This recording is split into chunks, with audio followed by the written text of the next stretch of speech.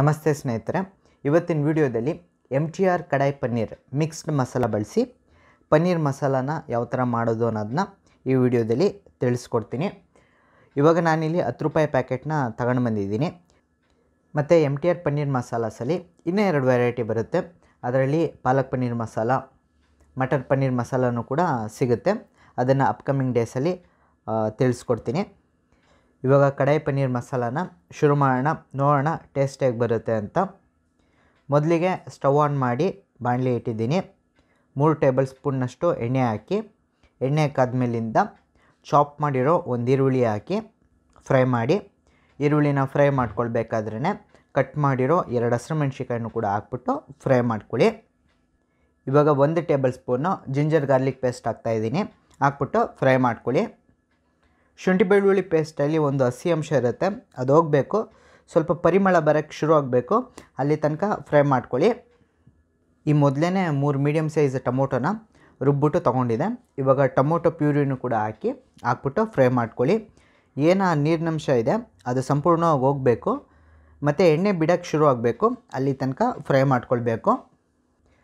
ಇವಾಗ ನೋಡ್ಬೋದಾಗಿರುತ್ತೆ, ಎಣ್ಣೆ ಎಲ್ಲ ಚೆನ್ನಾಗಿ ಬಿಟ್ಟಿದೆ. ಈ ಥರ ಫ್ರೈ ಮಾಡ್ಕೊಳ್ಬೇಕಾಗಿರುತ್ತೆ. ಇವಾಗ ಕಟ್ ಮಾಡಿರೋ ಒಂದು ಕ್ಯಾಪ್ಸಿಕಮ್ನ ಕೂಡ ಹಾಕ್ಬಿಟ್ಟು ಮಿಕ್ಸ್ ಮಾಡ್ತಾ ಒಂದು ರೌಂಡು ಫ್ರೈ ಮಾಡ್ಕೊಳ್ಳಿ.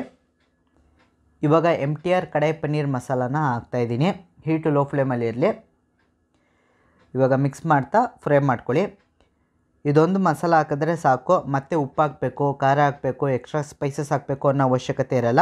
ಈ ಎಲ್ಲ ಇಂಗ್ರೀಡಿಯೆಂಟ್ಸ್ನು ಇದರಲ್ಲೇ ಹಾಕಿರ್ತಾರೆ. ಹಾಗಾಗಿ ಮತ್ತೆ ಎಕ್ಸ್ಟ್ರಾ ಸ್ಪೈಸಸ್ ಹಾಕೋ ಅವಶ್ಯಕತೆ ಇರಲ್ಲ.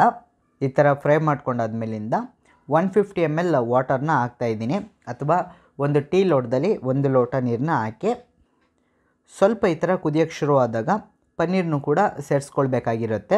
ಈ ಮೊದಲೇ ಟೂ ಹಂಡ್ರೆಡ್ ಗ್ರಾಮ್ ಪನ್ನೀರ್ನ ಕ್ಯೂಬ್ಸಾಗಿ ಕಟ್ ಮಾಡಿಬಿಟ್ಟು ತೊಗೊಂಡಿದ್ದೀನಿ. ಇವಾಗ ಕಟ್ ಮಾಡಿರೋ ಪನ್ನೀರ್ನು ಕೂಡ ಹಾಕ್ತಾಯಿದ್ದೀನಿ ನಿಧಾನಕ್ಕೆ ಮಿಕ್ಸ್ ಮಾಡ್ತಾ ಕುಕ್ ಮಾಡ್ಕೊಳ್ಳಿ.